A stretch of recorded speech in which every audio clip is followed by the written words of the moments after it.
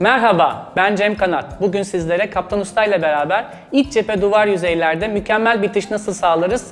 Bunlardan biraz bahsedeceğiz.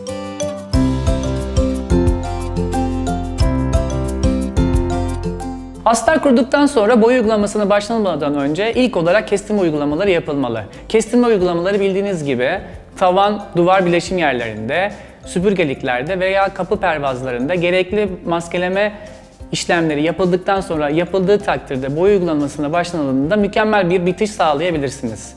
Uygulama esnasında ilk olarak teneke içerisine yerleştirilebilecek bir ızgara veya boyacı kapı kullanımı mükemmel bitiş sağlamasına yardımcı olacaktır. Uygulama duvarın bir noktasından başlayıp diğer noktasına kadar devam ettirildiği takdirde eşit, homojen bir boya filmi yüzeyde sağlanacaktır. Bir başka yöntem ise duvara yukarıdan aşağıya 3 bant şeklinde boyayı bant halinde uygulayıp ilk olarak soldan sağa daha sonra da yukarıdan aşağı şekilde taradığınız takdirde homojen bir bitiş sağlayarak mükemmel bitişe ulaşabilirsiniz.